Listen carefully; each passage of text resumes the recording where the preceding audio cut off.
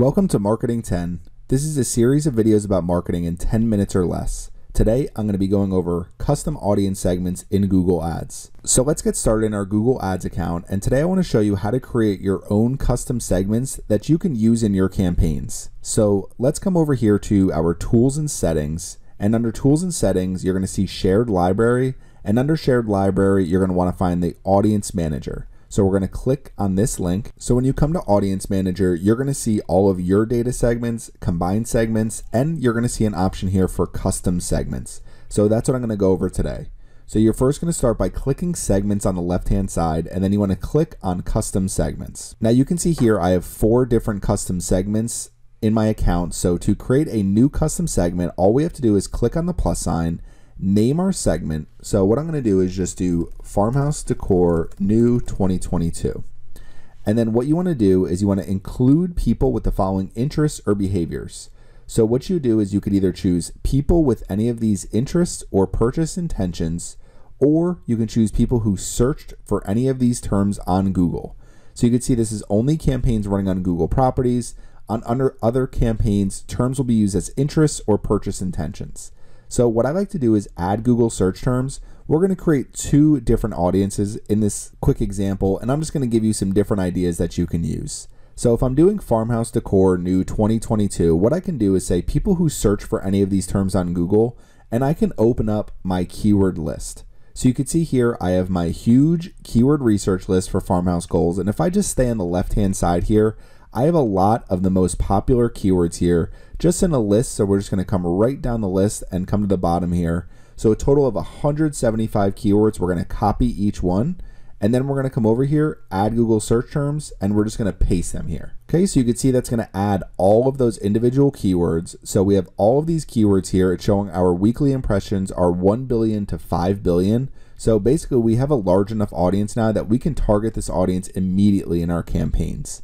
So we have Farmhouse Decor New 2022, people who search for any of these terms on Google, and we have all of these different search terms here.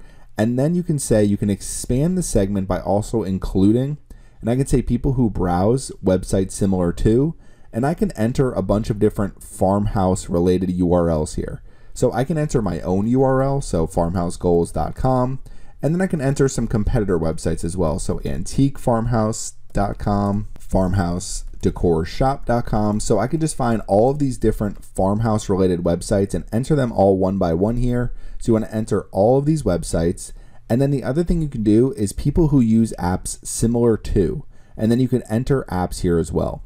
So since there aren't really that many farmhouse related apps, let's just say I want to choose Wayfair.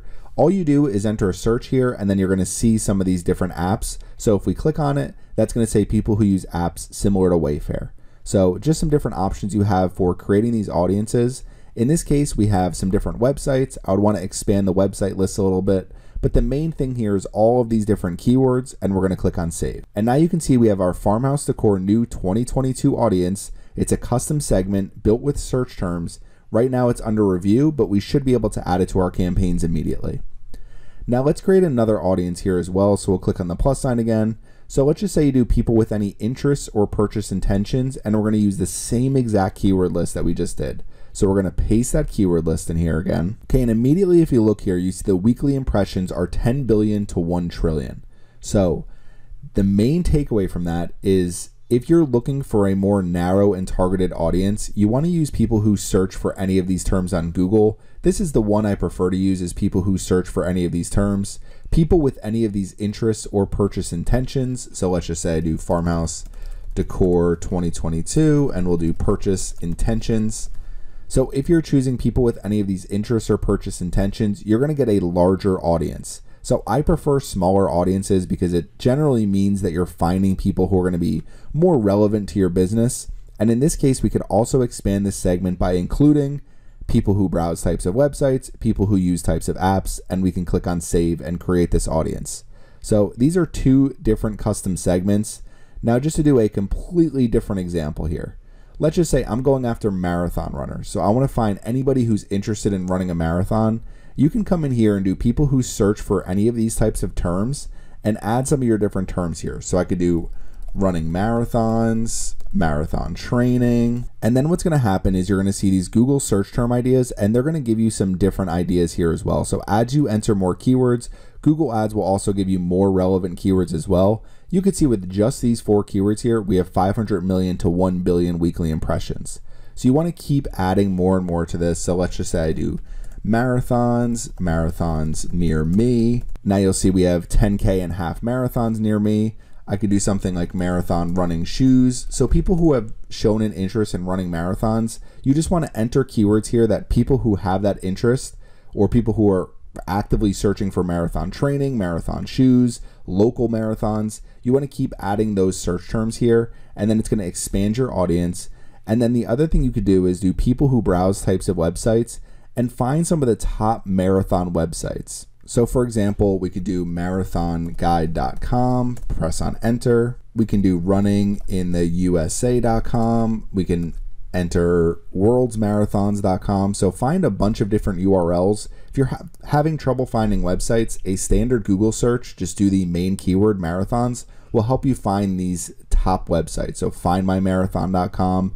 Now something like active.com you might want to just focus mainly on marathon type URLs because that's going to give you the most targeted audience. So raceraves.com, capstoneraces.com, runmyrtlebeach.com. It's starting to give me some local results because I'm located near Myrtle Beach.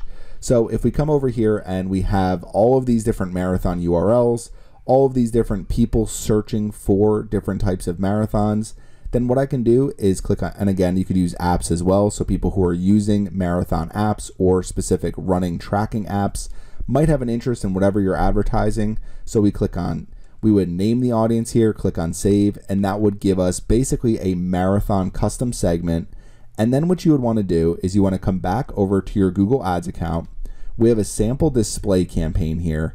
And let's just say we're coming into this ad group and I want to change my targeting. So we're going to come over here to audience targeting. And in this case, we're going to click on edit audience segments. And then you're going to see kind of your standard targeting look here for any display campaign you're running or anytime you're choosing different audiences. When you come in here to browse, so we're going to get rid of these ones here, you're going to see some of the options, detailed demographics, affinity, in-market and life events, your data and similar segments, combined segments, and then here, custom segments. So if we choose custom segments, so you can see here, we have our two different audience segments that we just created. And if we scroll over it, you can see the different purchase intentions that we added. And over here, the new farmhouse decor. This is all different keywords that people have actually searched in Google. So if we click on the farmhouse decor new 2022, we now have this custom segment added to our campaign. We click on save and we're immediately going to start targeting it as soon as it becomes eligible. So these are custom segments. They're a great way to create new audiences and create really your own in-market type audiences because you're going to be finding people who are actively searching for whatever it is that you're promoting. So there's different ways to create these audiences using interests or keywords. It's very easy to do and I would highly recommend just using your keyword list or finding a list of websites by doing a simple Google search and then just finding that audience and then using them to send your advertisements to and hopefully drive more conversion. So if you have any questions about any of this, please leave them in the comment section. Thanks for watching my video today and make sure you subscribe to the Surfside PPC YouTube channel.